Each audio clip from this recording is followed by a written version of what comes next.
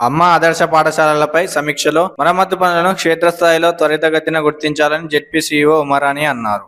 రాజన్న సిరిసిల్ల జిల్లా బోయినపల్లి మండల పరిషత్ కార్యాలయంలో ఆయా శాఖ అధికారులతో సమీక్ష సమావేశం నిర్వహించారు. అనంతరం జెడ్పీ సీఈఓ మాట్లాడుతూ అమ్మ ఆదర్శ పాఠశాలలో భాగంగా కమిటీల ఏర్పాటు జాతీయ బ్యాంకులలో ఖాతాల ఓపెనింగ్ తదితర అంశాలపై వివరాలు అడిగి తెలుసుకున్నారు. ఈ పాఠశాల కింద ఎంపిక చేసిన స్కూళ్ళలో విద్యుత్ తాగునీటి సరఫరా టాయిలెట్ల మరమ్మత్తు కమిటీ సభ్యులు స్కూల్ హెచ్ఎం ఇతర అధికారులు కలిసి పరిశీలించాలని సూచించారు. ఈ కార్యక్రమంలో ఎంపీడీఓ జయశీల తహసీల్దార్ పుష్పలత మండల విద్యాధికారి శ్రీనివాస్ దీక్షితులు ఆదర్శ పాఠశాల ప్రిన్సిపల్ సుధాకర్ కస్తూర్- కస్తూర్బా పాఠశాల ఎస్ఓ పద్మ తదితరులు పాల్గొన్నారు.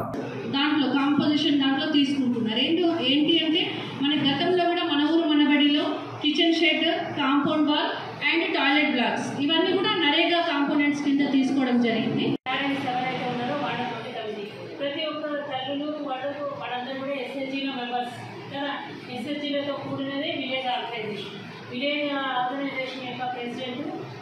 కమిటీకి అధ్యక్ష అధ్యక్షత వహిస్తారు మెంబర్ తండ్రి అనేది తెచ్చారు. ఇదైతే అందరికీ తెలుసు? కదా సో ఆఫీసర్లు వెళ్ళి ఇది కావాలి ఇది కాదు అని తెలుసుకోకుండా అందరూ కలిసి వినాయకంగా ఏమి ఉన్నాయి ఏమి లేదు ఏమి కావాలి అనేది చూడడానికి చేశారు. సో ఎవ్రీబడి ఇప్పుడు ఇక్కడ రాసుకుంటున్నారు కదా రాసుకోవడం కాదు మీరు దగ్గర ఉండి చూసుకొని మీరు సభ్య కమిటీ ఏదైతే ఉందో ఈ ముగ్గురు హెచ్ఎము నేను నలుగురని చెప్తాను.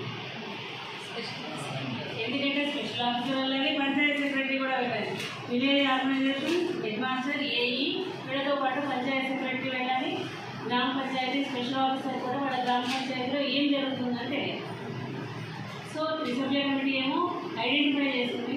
అది నిజమైన కారణాన్ని గ్రామ పంచాయతీ సెక్రటరీ అని స్పెషల్ ఆఫీసర్ చూసుకుంటారు. ఫీల్ అవుతున్నాం కదా మనము ఇవన్నీ రోజు అవసరం లేదా పిల్లలకి? టాయిలెట్స్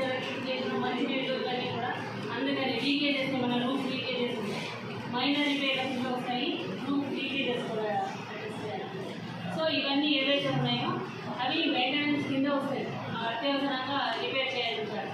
సో దయచేసి